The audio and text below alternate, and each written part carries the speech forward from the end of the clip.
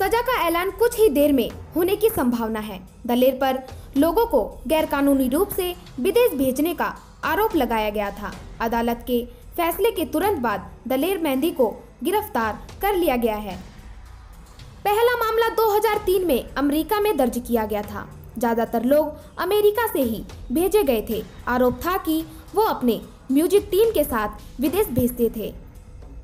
2003 में पटियाला पुलिस ने जानकारी के आधार पर दलेर के भाई शमशेर मेहंदी को गिरफ़्तार किया था, लेकिन तब पूरी टीम को ट्रांसफ़र कर दिया गया था। बताया जाता है कि भारी दबाव के बीच ऐसा फैसला किया गया था। पंजाब की पटियाला अदालत ने जाने माने गायक दलेर मेहंदी को मानव तस्करी मामले में दोषी करार कर दिया है। ये मामला 2003 का है। इस मामले में 15 साल बाद ये फैसला आया है। दलेर को आपराधिक साजिश में करार कर दिया है। दलेर के खिलाफ 31 मामले पाए गए थे। तो दोस्तों, आप दलेर मेहंदी के बारे में क्या सोचते हैं? क्या दलेर मेहंदी ने ऐसा कुछ किया होगा?